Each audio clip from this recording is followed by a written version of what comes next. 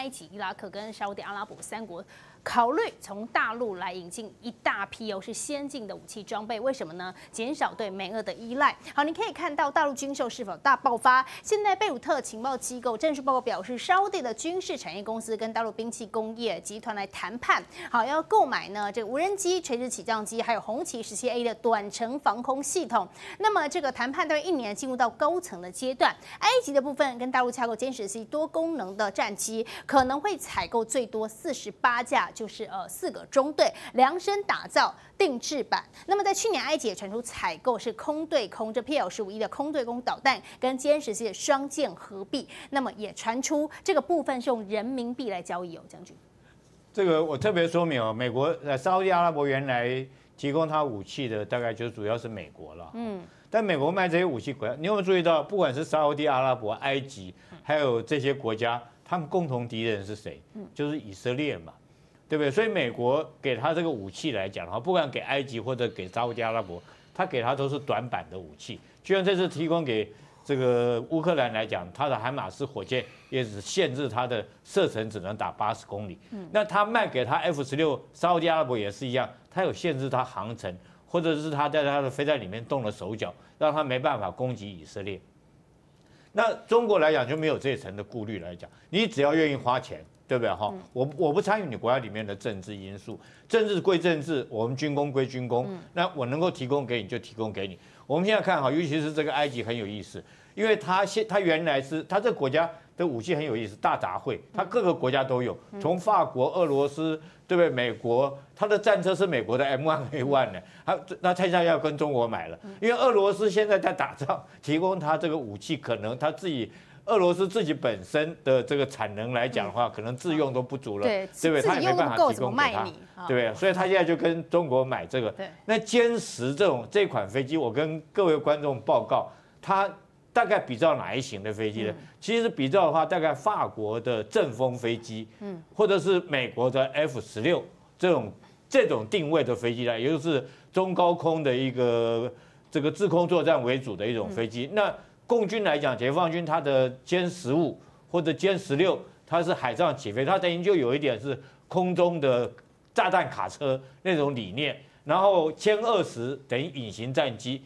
那另外我特别要提一下红旗十七，红旗十七哈，你不要看它，它等于这种是什么？是什么？我跟大家介绍一下，它号称短程防空，呃，短程的防空系统，它有四大的突出性能。对，其实它比美国刺针还好用。嗯。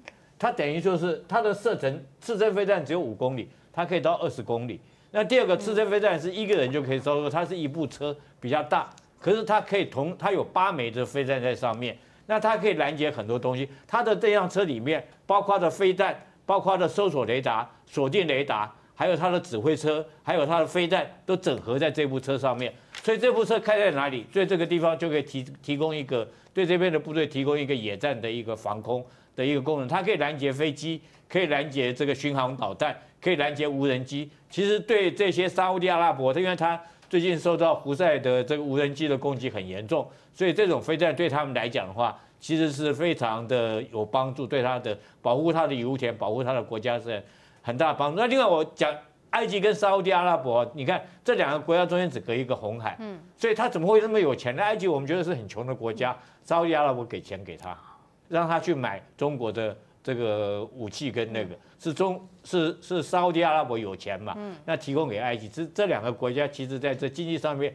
军事上面也是一种同盟的一种关系，所以他买武器会一起买，嗯跟美跟中国买武器将来会一起买。尤其最重要，他后来之后就是用人民币交易，也就那牵涉到经济的去美元化的问题了。是，那同时另外看到在说到这个呃新型的部分，还有这个伊朗现在曝光了新型的飞弹，伊朗成功试射最新版的国产第四代霍拉姆沙赫弹道导弹，射程两千公里。专家表示呢，这代表有能力袭击以色列本土。以色列这个问题哦，以色列跟巴勒斯坦问题，其实我我我个人是觉得，不管是以色列跟巴勒斯坦，或者是印度跟这个巴基斯坦这些领土争议的纠纷，都是英国当初殖民地的时候留下来的没有处理好的一个结果，造成种族之间的仇恨滋生到现在。嗯，那伊朗为什么那么痛恨以色列？我们现在讲以色列，我讲一个名字，因为时间的关系，我讲不多。我们经常讲以色列在这个约旦河西岸有屯垦区。讲的很好听哦，屯垦区哦，其实那就是什么？就是侵侵占巴勒斯坦人的土地，就是巴勒斯坦人生活在那边嘛，你去侵占他土地，那你为了说我不是侵占你土地，你有个名词叫做屯垦区。那事实上，这个我们知道加沙走廊哈，加沙走廊跟个大型监狱一样，以色列在那边盖了盖了围墙，哎，把那些的老百姓，这个巴勒斯坦老百姓围在那里面，所以其实就就他们这个伊斯兰的这个教徒来讲的话。认为说以色列是非常非常残忍，尤其是现在的以色列总理是极右派，用更残忍的手段、更激、更那个手段来欺负他们巴勒斯坦人。所以伊朗来讲的话，其实站在他们宗教立场上，他一定要报复以色列。嗯，那这个仇恨就结不完了，对不对？以色列现在从他的两国论，或者是说呃要两国论，就一边一国，巴勒斯坦一国，以色列一国，还是一国论？其实有些人都赞成，但是问题也都很大，解决不了。那在这种状况之下。当然，伊朗基于他们，呃呃，伊朗基于他们国家，呃，基于宗教上面的立场来讲的话，他是极力这个支援他们巴勒斯坦。嗯。所以在这种状况下，他也希望能够发展这种武器，能够直接攻击以色列本土。但是相对的，就是说，你你这这个仇恨会越结越深了。所以以色列他为了他国家的安全，他就一定会主动攻击你伊朗，不管当初用暗杀，或者是说用各种。这个飞弹先去战机先去攻击，把你核子武器给你摧毁掉。所以我觉得当初英国殖民离开这些地方的时候，没有做一个很好的处理解决，留下来这些东西，让这些这些地方的种族仇恨以及宗教上的仇恨一直遗留到现在。我觉得英国跟美国这些国家应该来大家坐下来，来好好谈一谈，怎么样？寻求人类的一个和平，不要一天到晚这边打来打去。他现在伊朗发展这种武器，目标就是针对以色列。那以色列采取报复手段，一定会有的。他国家安全立场，他绝对不会掉以轻心的。嗯，好。那说到这个新型部分，大家也关注了，在大陆部分哈，零五五的大区生力军现在九号、十号见有好消息。这个哈，我跟你讲，这个这个我我我真的好，我我很具体的来讲，美国来讲，我用几个数据跟大家讲。美国的海权哦，真的是已经已经到了一个极限，已经开始在走下坡了。我拿美国，我们常听到了几个军舰，航空母舰好了，它十一艘，有六艘在靠港在维修，尼米兹海舰已经要回去拆掉了，对不对？这个是它的航空母舰。那它的巡洋舰，对不对？康提德罗加号，它有二十七艘，我跟各位报告，它十艘已经退役了，嗯，对不对？它新发展的滨海战斗舰才服役十年，已经退伍了。已经退休了，准备要卖给台湾了。那我们台湾要不要？因为它设计不良，对不对？哈，它最新型的这个巡洋舰叫做朱瓦特号，它原来预算要做十艘的，后来只做了两艘，发现设计不良，对不对？哈，功能不佳，也也就做不下去了。那相对的，我们看中国现在零五五大区，它现在这个这个它的这个，我我们不要讲说雷达这些，其实都差不多了。嗯，跟美国的他们比起来，神盾级的这种雷达系统都差不多，一次可以锁定。一次可以追踪上千个目标，可以锁定上百个目标来实施打击，这都没问题。双方来讲，这个雷达系统其实各都不会相差太多，但是它主要是发射器，对发垂直发射器也都差不多。但是可以，但中共它的这个战略构想，它是在沿海地区反拒止，所以以它现在来讲，零五五它总共听说它要建造十六艘，北海舰队、东海舰队、南海舰队各四艘，另外有四艘是 U B 维修的。嗯，那在这种状况之下。之后，零五五大区他们有说一个说法，说零五五大区啊，再来更精进型的，它就改成电磁炮了，或者激光武器了。那这种状况下，它又超过美国的所有，不管是防空啊，或者舰艇啊的这种武器。所以我觉得，等到那个时候，真真的激光武器发展出来是可能机会是很大的，因为我们上海已经看到磁浮列车了嘛。那同样的，在这种状况之下。它发展出激光武器、电子武器的可能性也是很大。现在再有最新的消息，这新一代的零九六型的核潜艇，那么这是第三代的核潜艇，能够携带十六到二十四枚巨浪三的洲际导弹。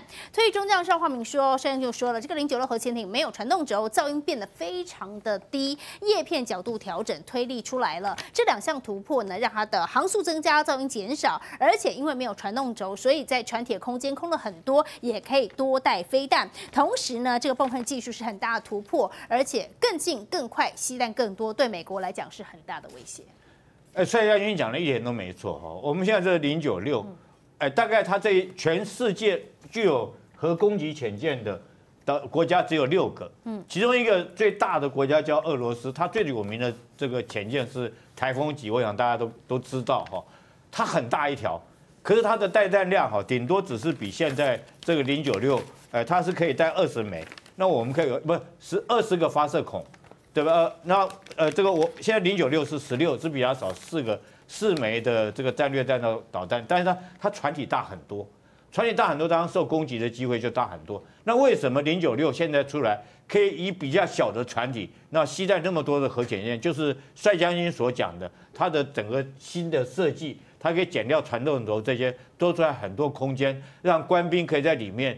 其实你不要看海军官兵，他们在潜舰生活很辛苦。对呀，对，那个那个，如果说没有很强的心理素质，很难生活在下面。就整个这样子。对对对对，所以它必须里面不管娱乐设施什么都有，你不是光打仗而已，你必须平常提供他们，一下去可能两三个月不出来。嗯。那现在它可以带十六枚，十六枚每一枚巨浪三哈，它可以带十颗的核弹头，也就是说一艘核潜舰。零九六可以带一百六十发的核弹，那你想想看，那种威力有多大？还有它这个新的巨浪三啊，射程到一万六，呃呃呃，这个十六万公里，也就是说，它在中国的沿海，它不要到第一岛链，不要出第一岛链，它就可以攻击美国本土，所以对美国来讲威胁是很大。另外，你现在相片上面看到这艘，我们现在相片上面这艘是零九四啊。零九六跟它最大的差别是，它没有上面那个龟背，嗯，就乌龟那个背。这边看到的是零九四。对，因为它有一个龟背凸出来，有没有哈？嗯。它为了放它的核弹核核导弹的弹仓，那它必须要凸出来。那你不要看核潜舰这种高科技的东西，它凸出来这一块来讲，对它来讲，潜航的时候这个水的阻力就会造成比较大的噪音。那另外，它这个零九六，它还有改进很多地方。包括它的推进器，它用第五代的这个避震阀，还有第三代的减震器，那这些加上去之后，它的噪音值只有九十五分贝，那零九四上一代是一百多分贝。那我们从这数据里面哈，我们就可以比较出来，就可以了解到说，呃，解放军它发展这个零九六，它的这个科技在。在这方面的进步性有多大？第一个空间增加了嘛，同样一个船，我可以多很多的空间出来，增加官兵可以在在船底下生活作战的时间可以更久。嗯。第二个，我可以携带更多的核弹，对不对？好，零九四只能携带十二枚，它现在可以带到十六枚。嗯。那而且零九四所携带是巨浪二，可是大家不要认为零九六出来零九四就淘汰，没有。还有共军还是有零九四，所以它这个核武，当它的核武器整个总弹头现在总数是五百多枚了哈，那要分配到核潜舰是不多，可是这对美国来讲也是一种威吓性的打击。不过我在这边要特别说，我们台湾的民众不要怕，不要担心，因为。这个这种武器不会用到我们台湾，只要我们不接受吴钊燮所讲的接受美国核保护伞的保护，这我相信共军他要的是一个完整的台湾，他不会用这种武器来打我们台湾。